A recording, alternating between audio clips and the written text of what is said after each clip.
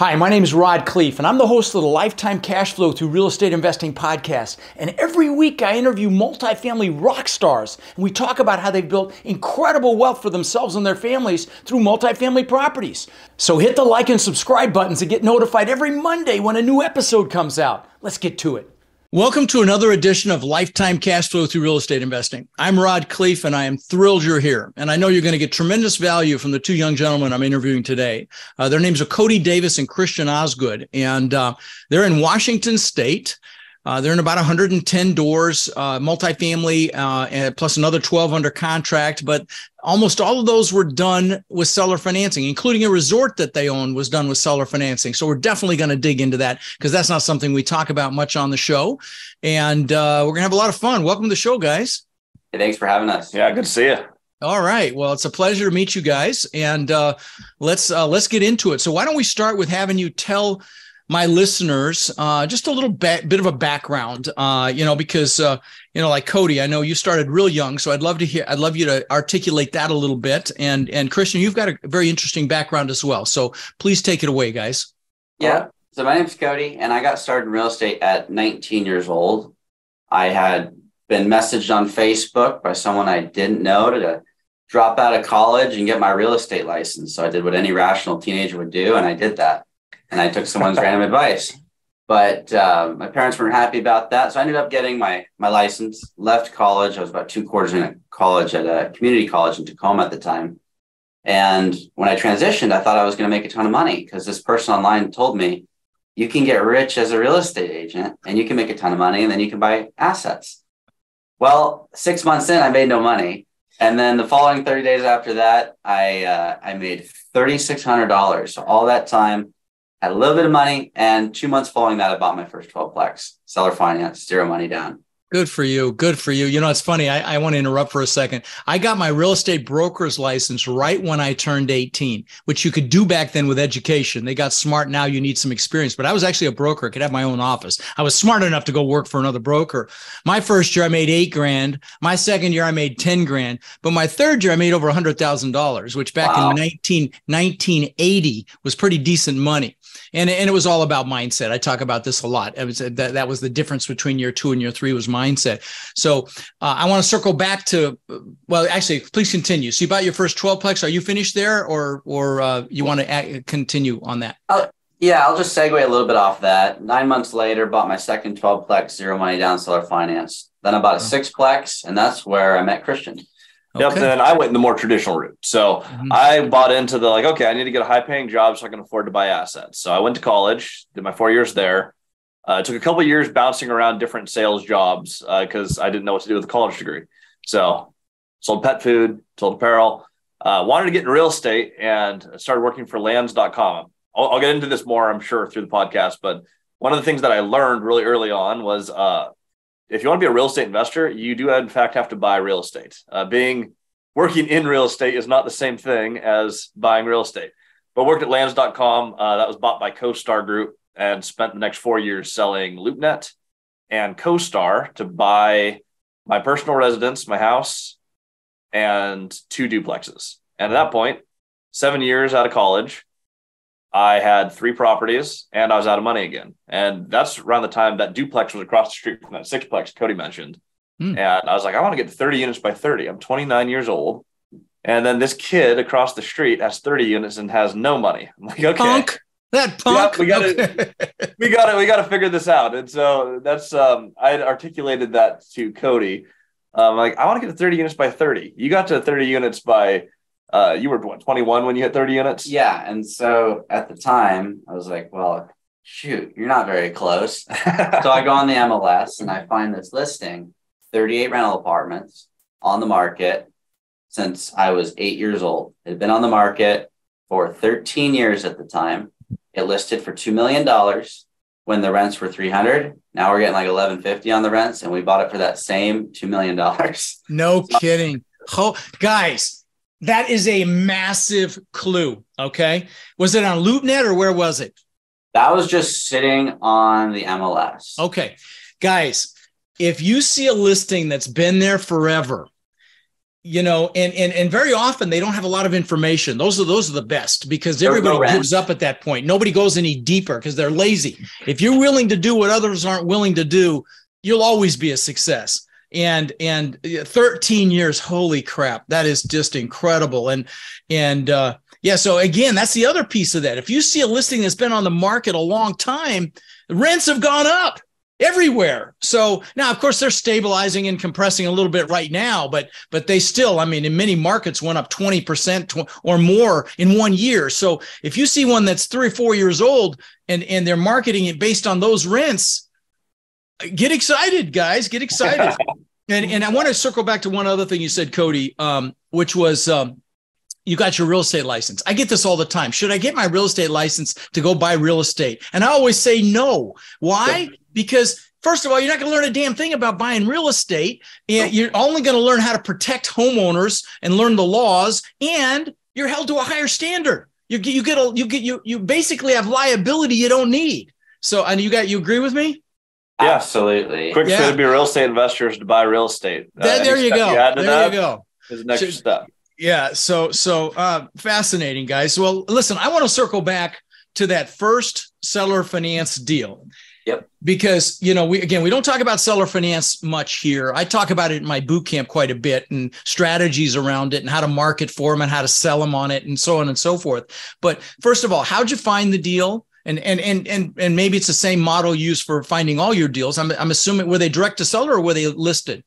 This one was listed. Listed. Wow. Wow. And for context, this was two years before I met Christian because I've been doing okay. this for about four years now. Mm-hmm. But I bought this 12 plex back in 2019. It was on the MLS, and I didn't even know where the heck this city was. It's called Quincy, Washington. Tiny okay. little speck on the map that it's 10 miles north of the freeway. It ended up being a great area, but I mean, it's just hard to find. Hmm. And originally, there was another broker in the office had a client that was under contract on a seller finance 22 unit in Moses Lake. It was a fourplex, a sixplex, and a 12. And that's the first time I learned about seller financing. Um, but when I realized that someone could buy something without any money, I, I tried to buy that deal and get it from that client because they didn't move forward. That didn't work out. So I looked up seller financing and this 12plex popped up on the it was, it was actually listed offering seller financing. You didn't even yep. have to propose it. Wow. Okay. Was on the market for 551 days.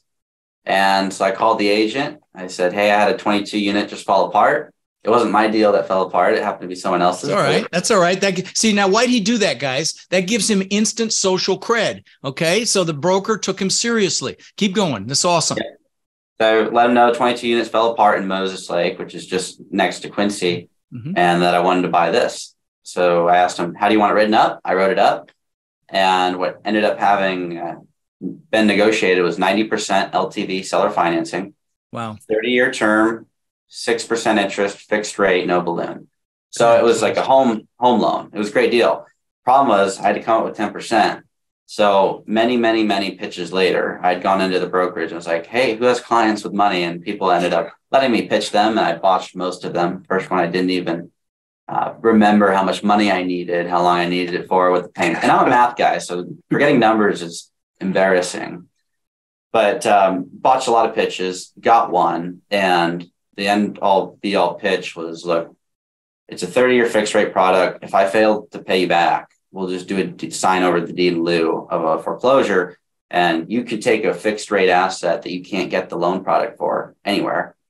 Cash flow is great. They looked at the numbers.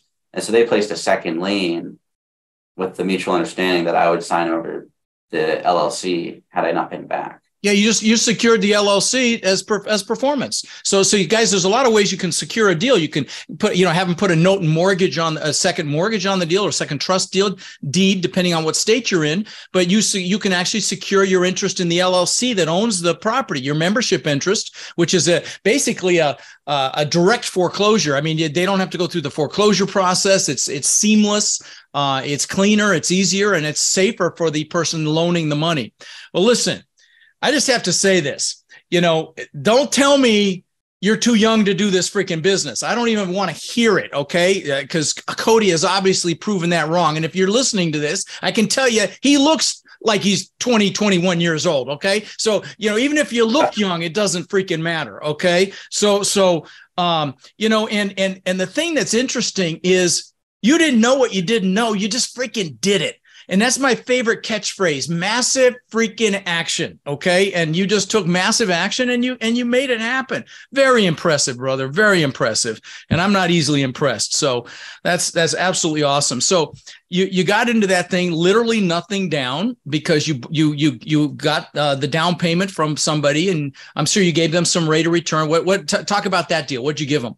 That was 12%. 12%. Okay, that's high. Well, that's good money. That's, well, so, it was expensive, but it would have cost more not to do the deal. And it sure. cash flowed even paying them 12. So that's where it worked out. Are you working? To, can you accelerate paying them back from cash flow and get try to get that paid back quicker, or what's the plan? Have, yeah. So I, in that deal, I had to just write a check, so I couldn't chunk it down over time, hmm. and I didn't have all the cash flow or the income to chunk it down. So what ended up happening is I asked for one year, I didn't earn enough money to pay them off. So I begged and pleaded them to extend one more year. They said yes. I had to pay a few more points. Mm-hmm. And uh, then I was able to pay it out of earned income after that 20 and you paid it off from earned income so so were they were they actually a hard money lender that you met at a meetup or something just a private individual private individual because that's pretty sophisticated they got points they charge 12% it sounds like hard money that's why i asked okay it was expensive right. but yeah. it, it got me started right and you could, you know, very possibly have refinanced it at some point and gotten them out of there too. But you know, the rates have gone up, huh? I wish I, wish. I could. Yeah, I, uh, well, you've got you've got a great first mortgage there, so it's like you know, paying them off, paying off that second is just fine too. So, talk to me about the uh, what was the big one you guys got? There was a thirty-eight. We started our first deal was a thirty-eight plex. Talk mm-hmm. about talk about that. Talk about that a little bit. So yeah, two million dollar purchase, seller finance, fifteen percent down, so a three hundred thousand dollar capital raise. So that that's the one you were just talking about that had rents that were freaking 10 years old, 11 years old, whatever. Uh, or 20, 30 years yeah, un- unbelievable. So yeah, we're, we're in Washington state and uh, rents on some of those units were 350 bucks. On the, now, do you have, now you're a blue state. Do you have rent control? Uh, not yet. We okay. will. Yeah, okay. we wouldn't have bought the deal if there was rent control. You're right. Okay. Up percentage points at a time would never happen. Yeah, that would take that would take literally forever. Um, okay. But yeah, the building. So no one else wanted to buy this. That's why it was on the market for 13 years at the exact same price. A hmm. uh, lot of problems with the building, but their biggest problems were they were just not collecting rent. They filled the building with a whole bunch of their family members, a uh, bunch of drug problems. It was a rough building. Um, however, this is in 2021. There's a million relief programs for people not paying rent. So we got in there and we knew our plan was okay, we're going to get in we need to just get collections up. Before we do anything, we just have to start collecting money on people who aren't making any money. So we went door to door, got everyone on government programs, fixed the immediate issues, a little bit of work to the septic, a little bit of work to the plumbing. And we got the income on that building. 38 units were making five and a half grand. Day on, one. That was gross. So it was a negative cap rate on acquisition. People say there's no such thing as a negative cap, but if it loses money operating mathematically, negative one cap, but we got collections from five and a half to 15,000 in the first few months. And part of that deal, we just negotiated it's creative finance. It's whatever you negotiate. So we did lower payments for the first six months, and then the payments jumped up to the full amount. So we had time to to get things cleaned up. Yep, so, exactly. So, so, so you worked with the existing tenants to get them on their feet rather than throwing them out.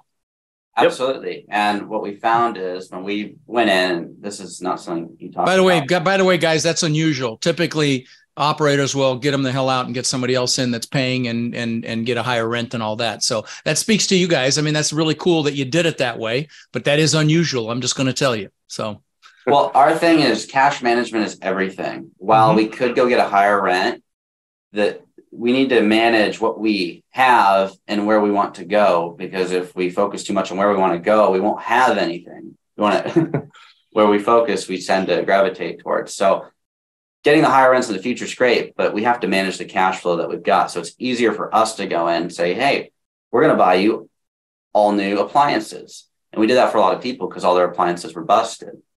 Go figure. Yep. Put a little bit of energy in and then ask for a little bit back. Now it's not that, that's how it works. I mean, that's how it works. I mean, you know, if you take over a property, the first thing you do is start making improvements on the outside so people see you're going to improve it before you ask for any increase in rents.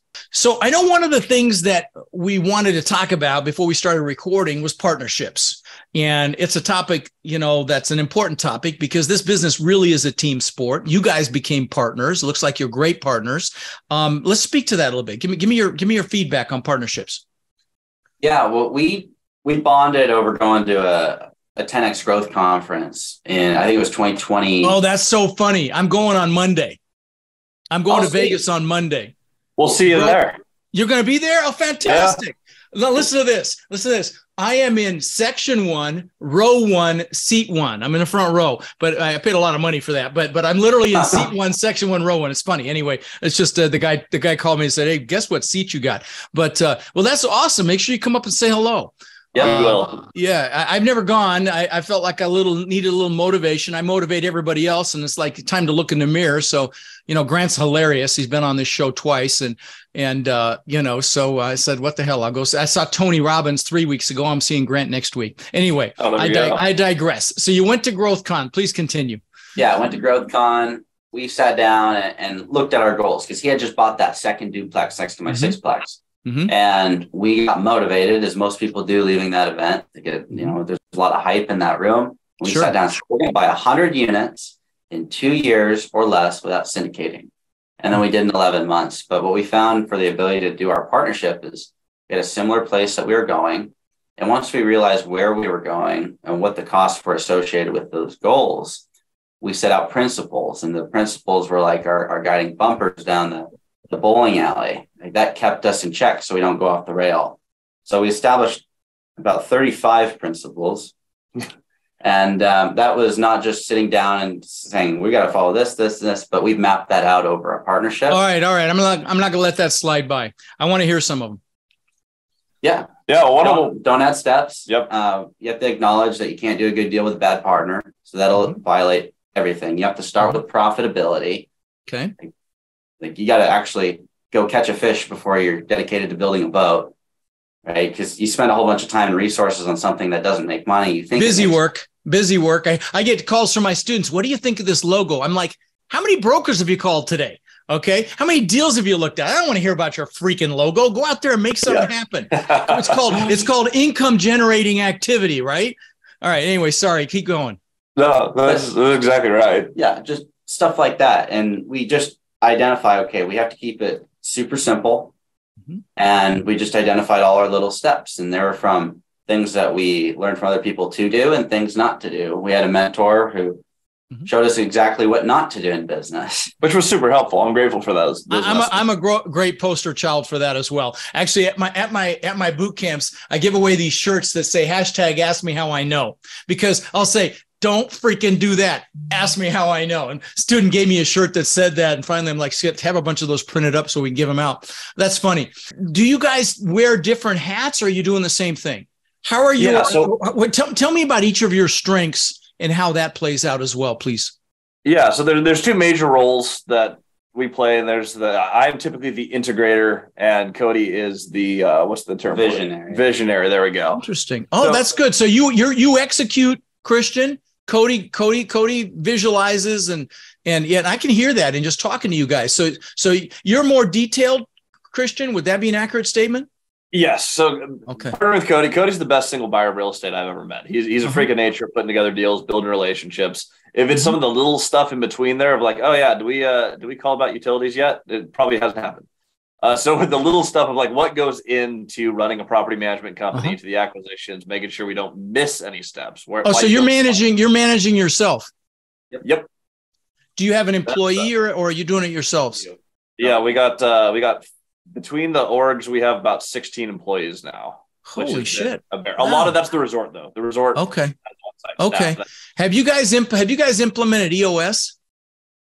Uh, we ha- I read uh, the book Traction, so EOS right. is how I got. Uh, you, I got that's where I, I, heard the term implementer, and that's why I thought maybe I, that the, guys that is a game changer. I'd highly encourage you to implement it. It's incredibly powerful, guys. If you're listening, it's from the book Traction. A guy named Gino Wickman, and I I presented this to my mastermind members. You know, there's 16 billion in assets in my mastermind. This is my not the Warriors. This is my mastermind uh, called the Multifamily Boardroom, and and and almost every single one of them uses it now and it's an absolute game changer. So with that many people i'd highly encourage you to to to implement it because it's it's uh it's very very powerful.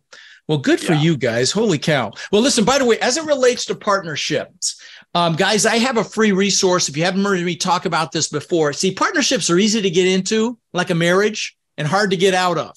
And like in my boardroom i have two very large members at 4,000 plus doors apiece that just broke up, one a male and one a female, just broke up very large partnerships because they didn't ask the hard questions up front. Now, you guys, it was really cool. You came up with your 35 core principles.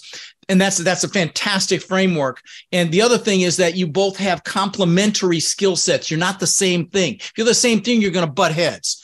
And but I've got a list of questions. Um, and guys, if you're listening, if you go to rodslinks.com, rodslinks, rods plural, links plural.com, or text the word links to 72345. There's a book in there called The Questions You Should Ask Before Forming a Partnership. And it's all the hard questions you want to ask.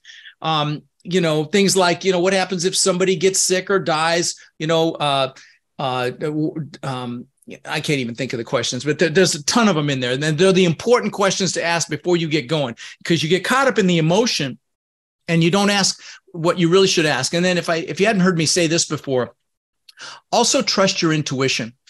It's super important. If your gut doesn't feel right, trust it because your brain is incredibly powerful and it can pick up on these little micro nuances that you're not consciously aware of, but your gut, you'll feel it. Okay. You know, there's a book called Blink and it talks about how instantly people can get a perception of something. And there's an example in there of some of the best art experts in the world. And they'll look at a painting and they don't know why it's fake, but they know it's fake.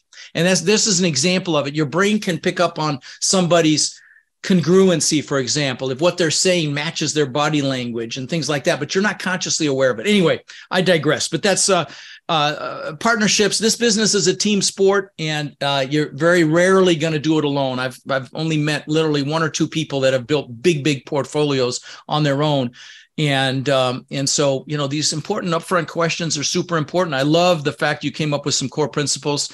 You know, uh, we've got core values in my organization as well. You know, things like integrity and things of that nature. That's in fact that's our number one core value. But uh, well, let me ask you guys this. So, what's the driver here, man? What's the why that's driving you to? And I'm well, sure it's different for each of you. Hmm? Yeah, when we got started, actually fairly fairly similar. Um, they're they're at least adjacent uh, goals. My goal was to retire my wife. She's a teacher in the school cool. district here. We're in a, a, state where the, the politics have gotten weird. I won't go into that, but it's uh, uh, not uh, we'll, we'll say less than ideal, not agreeable. Yeah. Um, that that was really my driver from going from I have two duplexes to I got to stop buying duplexes and I have to go bigger because it went from a hey I have these dreams to like we got to do this now. So there's the security of providing for my family, and I, I think a lot of husbands will relate to that. Of like you know sure. I just want to provide for my wife. Sure. And doing that meant financial freedom. It meant not buying one duplex at a time. I had to figure out how to go bigger, which is where my goal of let's get a partnership to 100 units went. For Cody, yeah, I wanted to be able to help retire my mom. And so I didn't oh, know what that exactly cool. looked like in the beginning. Originally, I thought it was just going to be paying for a mortgage. But mm-hmm. what I realized is that things cost more than they used to, evident by uh, all the money that's been printed and now all the prices are higher. But um, so what I'm doing is I'm helping her remodel her house into a duplex. And this is in North End Tacoma. So I had to figure out, okay, what's the value and how, what's it actually cost to be able to do all that? And it was about the same cost as retiring his wife. So we just said, hey, 100 units will do it. And when we got to 100 units in 11 months, without syndicating, it was all just private seller finance debt. We celebrated by buying the resort. But you bought okay. Talk, talk about okay. Bought a resort. Good God, where where I, where the heck did that come from? And and t- it, talk about the resort. It came from YouTube. One of our okay. YouTube buddies, uh, who's who's local, but he looked at this resort and he was just about to retire. His whole brand is investing the lazy way. He does fourplexes, buys one at a time, a lot of house hacking, but he just does a very passive, simple, build your wealth over time model. He looked at the resort and was like, this thing makes a lot of money. It's also a ton of work. This is a better project for some young guys. So he called us and the uh, the pitch was, hey, I have an off market deal. Uh, I just drove to it for the first time. The owners are really nice. Uh, zero down and it's going to cash flow really nicely for you guys. Yeah, it's going to cash 20 grand a month on zero down. And 20 grand a month on zero down. Holy cow. So, Sounded great. And then we ended up meeting up with the owner, realized it was listed on the market and they wanted a million down. So they got the first zero of many correct for the down payment. They just forgot the one. but a million dollars later, it did in fact day one cash flow 20 grand a month with another 30,000 a month upside. So it, it can be a really solid. So you did come up with a million down. Yep. Yep. It was one coffee meeting, one relationship, one wire we thought it was going to be the capital raise. We thought it was going to be three equity partners with a buyout agreement. On our first pitch, five minutes in, they're like, "We just want to do this project. So, what would it look like to not bring in other people?" It's like, "Well, you'd need to bring the whole million. And it's like, "Okay, done." that was the easiest so, raise. So, hold on. I want to drill down on this a little bit just to give my uh, peeps some um, some framework. So. Yep. So this is a resort that people go and stay in for a week or a few days or something like that. Yes. Yep and it's been. And you had, and you had, and what? What's the appeal of this place? Is on on water or something, or what? What's up with it's it? Got, it's got waterfront, and it was built by John Beckman. And for us, the story's worth more than the real estate. John Beckman was a set designer for the Robin Hood movie that partnered with Walt back in the 30s. It was hmm. built by John, and so the Robin Hood Resort was built by John. So it's called the Robin Hood Resort. Robin Hood Village Resort, yeah. And How so many rooms? On that campus, there's 17. Okay. An extra guest apartment. And then we bought the neighboring property seller financed as well when it hit the market. So that was added another three. Okay. So you got basically 20 rooms between the two properties mm-hmm. and and it cash flows well. Um, yep. and, and you looked at historical numbers to come up with the determination that it would cash flow. Yep. Um, mm-hmm. okay. Okay. Very interesting. Wow. And they seller financed. And and and what do you have to give? Did you uh, did you give your? Uh, I mean, if you can't answer this, is fine. Did you give your limited partner or your partner in the deal? Did he get equity or did he get a return? We did equity with okay. a fixed buyout. They did not want to have any cash flow. They just wanted to have their percentage and then to be bought out later, but to be backed by. Wow, that's that's basically debt. I mean, let's just just to be oh, honest oh, yeah, with you, yeah. that's it's that's debt. debt. It, it looks it, like it, equity, but it's not. They have equity right. from a from a from a, a, collateral standpoint or from a security standpoint, but that's really debt. When you, by the way, yeah. guys, if you if you give somebody a rate of return, like let's say you t- give them a preferred rate of say eight to ten percent or something, but then you cap them at twelve percent, that's debt. Okay, because you're basically going to pay 12% to get them out of there because anything over the 12% is return of capital instead of a return on capital. Love it. Exactly Love right. It. And and for them, there's some tax advantages for them the way they wanted to play the equity piece. Um, which was the main reason we structured with the equity piece is just because we're running a cost segregation study on it. it made sense for them the way they wanted to run it. But outside of that, it, it is effectively we run most of our equity partnerships very similar to debt, where if we partner with someone, there is going to be a fixed buyout in a fixed period of time. We will own everything we buy, and the real estate will pay for it. The goal is the real estate buys the real estate. Yeah, that's that's the that's the best. Have you seen a slowdown at your resort based on the current economic environment? No. Not yet. Okay. Well, let's hope not. Okay. Talk about any aha moments that you had on this journey, guys. Any epiphanies where you're like, okay, now I get it moments, if any have come to mind? It yeah, it clicked for me when I got my first bank loan. My first bank loan was a million nine and a quarter. And when we got that, I had to sign and I had to have the net worth personally to back that. And I did, but it, it didn't get real until got that first loan. How, how wow. old were you when you got that loan? 22. Wow. So it was now, did you have a relationship with that bank beforehand? Nope, I didn't even know they existed. Wow, wow, wow! That is extraordinary. Honestly, again, uh, very impressed. Okay, but that's when you sobered you up a little bit, didn't it?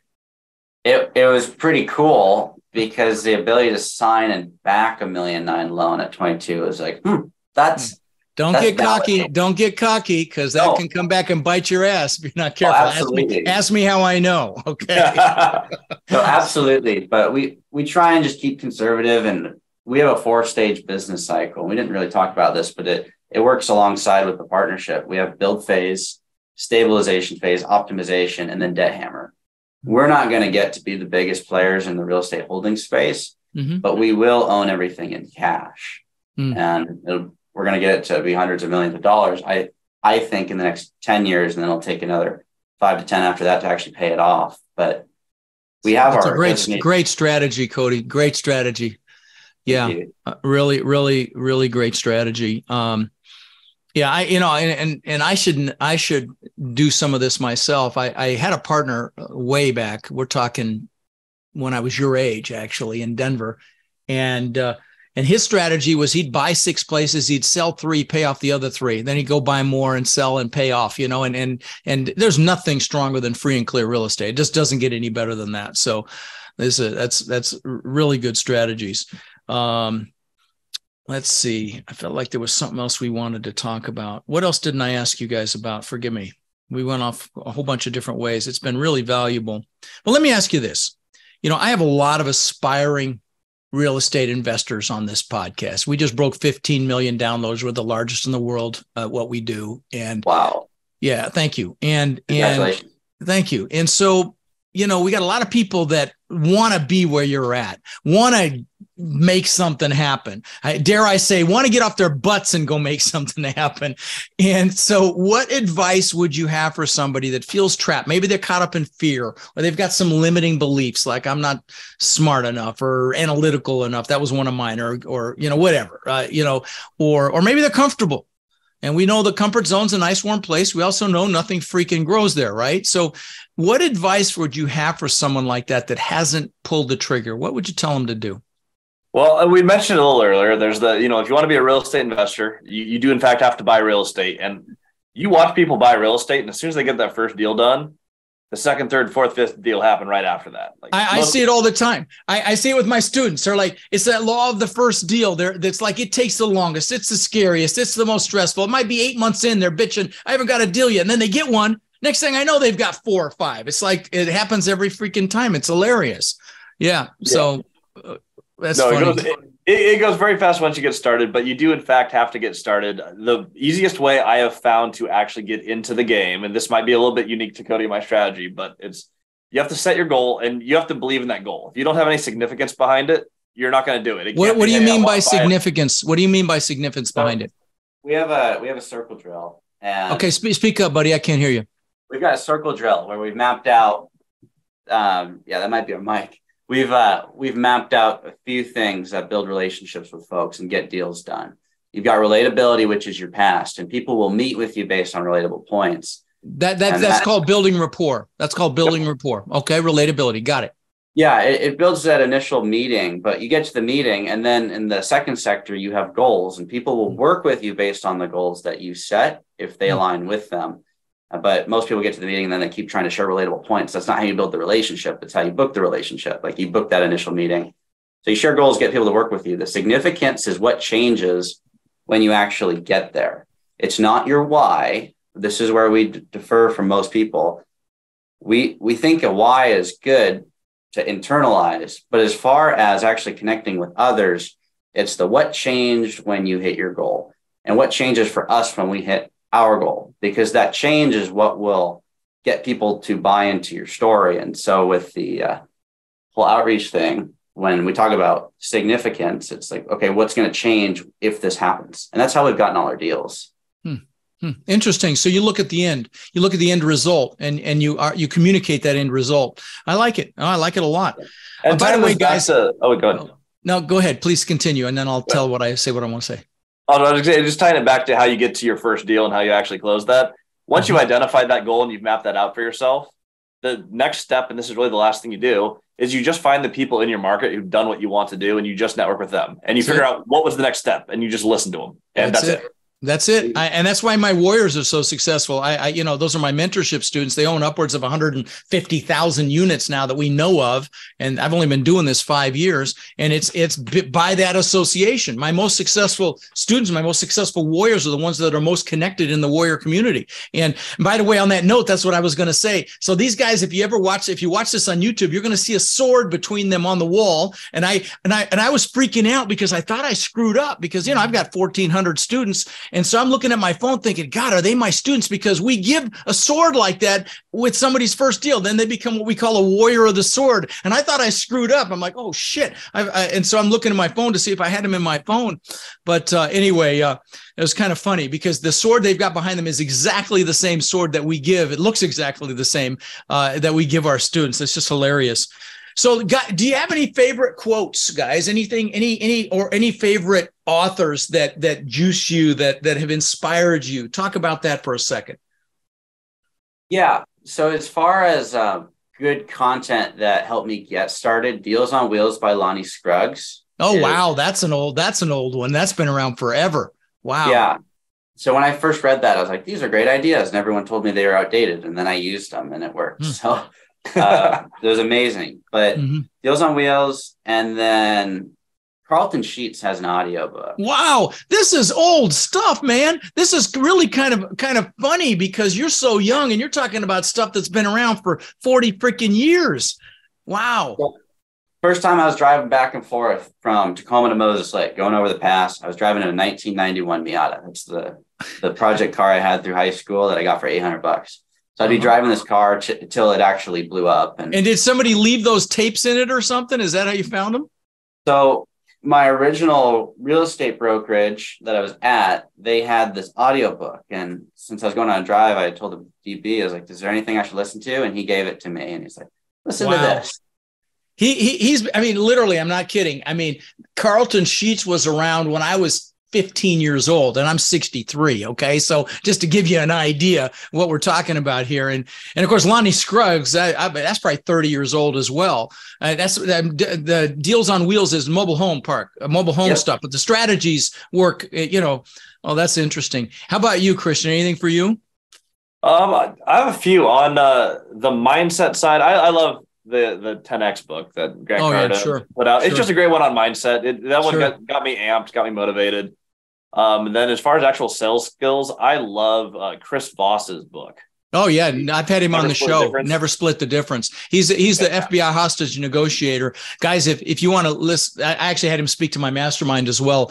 If you ever want to learn about negotiation, he's get that book. It's a fantastic book uh, about negotiation. I love it.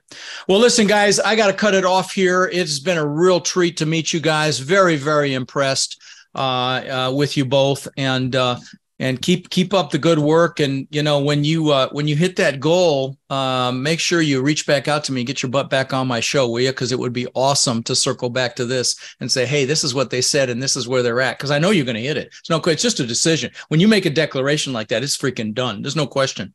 Pleasure to meet you guys and and uh, good luck in, in all you do. Likewise. thanks so much. All right. Take care. So one other quick thing. We encounter so many people that are frankly frustrated you know, they're looking in the mirror and they're frustrated that they haven't been able to escape the rat race. They haven't been able to build cash flow to the point where they're able to have financial and time freedom with their families. You know, and maybe they see other people buying real estate and creating, you know, incredible cash flow and they think, well, it's just scary. You know, buying apartments is intimidating. And I get it.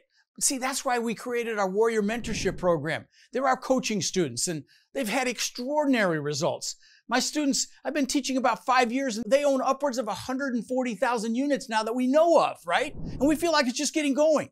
Now we're looking to grow this group and really take it to the next level. And honestly believe that the greatest transfer of wealth could be upon us right now with this current economic environment. Everything's going on sale. So we're looking for people who want to follow a proven framework, really like a blueprint or a map, literally step by step.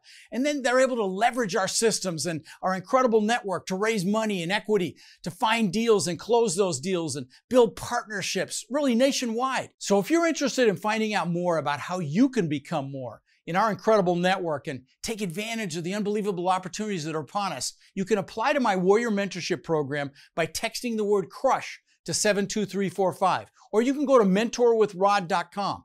And what we'll do is we'll set up a call so you can check us out and we can check you out and see if it's a fit. Now, again, you can go to mentorwithrod.com or text the word crush to 72345 to apply, and we will speak soon.